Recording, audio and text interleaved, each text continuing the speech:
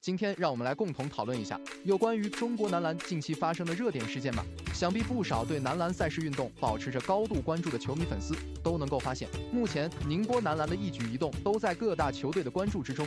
主要还是由于此前有媒体人发言表示，宁波男篮正在找寻状元签的交易对象。起初有不少球迷粉丝都猜测表示，广东男篮有很大概率会与之进行交易，毕竟此前朱芳雨就对状元签表露出了打算拿下的想法。所以说，现如今恰好有这一机会，无论如何，朱芳雨都有可能会为广东男篮签下。然而，值得一提的的是，双方的合作并未如球迷所想一般展开。根据最新的消息来看，宁波男篮的状元签交易对象竟然成了北控男篮，着实有些意外。那么其中到底是发生了怎样的一回事呢？下面就请跟随小编的步伐来一同往下看吧。就在众多球迷粉丝以为广东男篮以及朱芳雨并没有对此次状元签的交易表露出心意，因此将其拱手让给北控男篮时，有媒体人向大家透露出了其中的交易细节。根据媒体人的发文来看，广东男篮是有意以四换一的方案来和宁波男篮展开合作的。